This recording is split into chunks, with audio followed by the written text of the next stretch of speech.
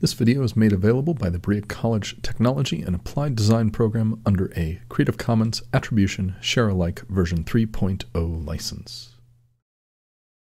So in the last video, I claimed that we were going to learn how to turn things on and how to turn things off. And part of that was that we started to use functions. So here we've got our function monster, skinny little chicken legs, and the function that we learned to use uh, first was pin mode, and it took some parameters. So those two parameters are what we feed the function, and that's what keeps the function monster happy. Um, so the function is called pin mode, and it takes two parameters. The first parameter is 13. The second parameter is output. That tells us that we want to make pin 13 an output.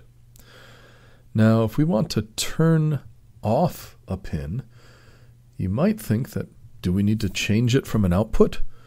Well, the answer is no, it's, it's perfectly okay for it to be an output. Um, so turning things on and off does not involve changing that. But here, where we said digital write, and we said to set the pin to a high voltage, that turned it on. And so here, to turn it off, we need to change one of the parameters to digital write. We want to make it go low. So high is 5 volts, low is 0 volts. And so we're going to need to change that. So we change the word high to low. And let's try, try verifying that. Seems like the Arduino environment likes it. We could try changing it to off.